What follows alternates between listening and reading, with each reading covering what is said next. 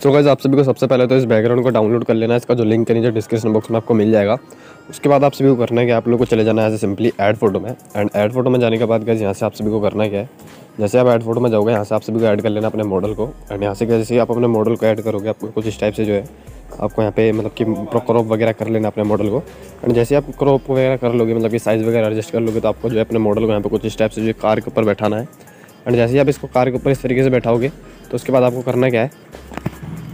उसके बाद जो पे आपको देख लेना है कि आपका मॉडल ढंग से लगा है कि नहीं लगा। देन आपको जाना है ऐड फ़ोटो में एड फ़ोटो में जाने के बाद यहाँ से ऐड करना आपको ब्लैक कलर का बैकग्राउंड ये बैकग्राउंड इसलिए ऐड करना है क्योंकि यहाँ पे हम इससे बनाएँगे सैडो तो सैडो बनाने के लिए हम पहले इसके साइज़ को इंक्रीज़ कर लेंगे एंड उसको मूव डाउन करके जो है इन्वर्ट कर देंगे। फिर इरेजर टूल में जाके इरेजर को ले लेंगे, यहाँ पे इन्वर्ट कर देंगे ब्रश लेंगे। ब्रश को लेने के बाद जो है, हम यहाँ पे कुछ इस टाइप से फ़ोटो को जूम करेंगे एंड जहाँ जहाँ पे हमें शेडो चाहिए, हम सिंपली वहाँ वहाँ पे पेंट कर लेंगे।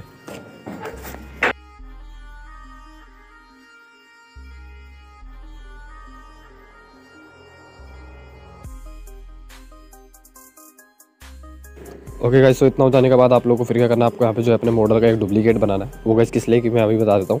आपको जैसे आप डुप्लीकेट बनाओगे, आपको उसको लेके जाना है, आपको यहाँ पे इफ़ेक्ट वाला ऑप्शन में। इफ़ेक्ट वाला ऑप्शन में ले जाने के बाद आपको यहाँ पे ब्लैक एंड व्हाइट वाला ऑप्शन लेना है। एंड इसका अमाउंट ज़ीरो करके आपको ऊपर से मर्च कर देना है। देन आपको नेगेटिव लेकर इसको मर्च कर देना है। देन कलराइज में जाकर आपको यहाँ पे जो है ऑरेंज या येलो कलर ढूंढ लेना है।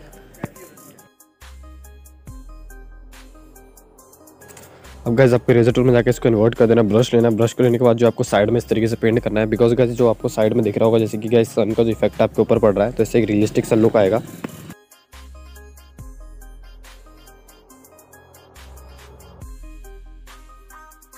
एंड गैस यहाँ पे जो आप सभी को जो ब्लेंडिंग मोड है, वो रख लेना ओवरले ठीक है? तो ये ओवरले रख लेना। बाकी आप सारे ट्राई करके देख लेना, आपको जो बेस्ट लगे वो रख लेना।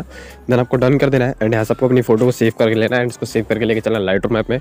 बाकी कैसे हमने लाइट मैप फ़ोटो को ऐड कर लिया आप जाना आपसे भी को लाइट वाले ऑप्शन में। लाइट वाला ऑप्शन में जाने के बाद पहले इसका कॉन्ट्रास्ट आपसे भी को इंक्रीज़ करना है एंड जो हाईलाइट है, इसको थोड़ा सा कम करना है। एंड जो शेडो है, इसको इंक्रीज़ कर देना है एंड उसके बाद जो ब्लैक है, इसको थोड़ा सा कम कर देना है। फिर इसके बाद चले जाना आपको कलर्स में।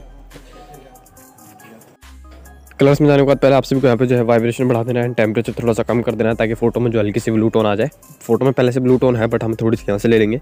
बाकी मिक्स में जाएँगे मिक्स में जाने के बाद ऑरेंज कलर सेलेक्ट करेंगे इसका ल्यूमिनस बढ़ा देंगे ताकि फेस जो है थोड़ा थोड़ा सा ब्राइट हो जाए। देन उसके बाद हम यहाँ से ब्लू कलर लेंगे एंड इसका जो ल्यूमिनस इसको कम कर देंगे एंड जो सेचुरेशन हम इसको थोड़ा सा बढ़ा देंगे। ठीक है? इतना हो जाने के बाद आप लोगों को फ्री करना आपको चले जाना है नीचे वाले टूल में। फिर यहाँ पे आपको फ़ोटो की क्लियरिटी को इंक्रीज़ कर देना है एंड फ़ोटो में डाल देना विग्रेट ठीक है? उसके बाद आपसे को नीचे स्क्रॉल करना है, आपको यहाँ पे मिलेगा फीदर आपको उसको इंक्रीज़ कर देना एंड चले जाना नीचे वाले टूल में। फिर आपको यहाँ पे फ़ोटो की शार्पनेस बढ़ा देना है एंड उसके बाद यहाँ पे गाइस फाइनली हमारी फ़ोटो एडिट हो चुकी है। तो आशा करता है वीडियो अच्छी लगी होगी। वीडियो अच्छी लगी तो वीडियो को लाइक करना, बाकी मिलता हूँ नेक्स्ट वीडियो में, तब तक के लिए गुड बाय